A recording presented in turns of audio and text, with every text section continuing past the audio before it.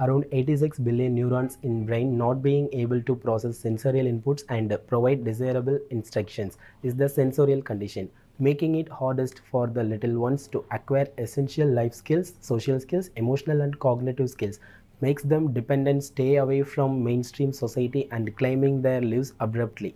Sensorial conditions such as autism is prevailing at epidemic speed since 114 years from 1 in 10,000 kids to every 1 in 32 kids in 2020. Autism is claiming many kids' lives and holistic happiness of their families. Namaskaram, I am Vinu Kannan, Bachelor of Occupational Therapy, working as an occupational therapist at Pinnacle Blooms Network, Vijayawada, promising to do everything possible to empower your kid to be self-sufficient, to be part of mainstream society, to stand chance at life, career, family, bring smiles into your family, empowering 80 plus crores of kid people with sensorial conditions to have wonderful life has been the precise purpose of Pinnacle Blooms Network. Autism is not a disease, it is a sensorial condition.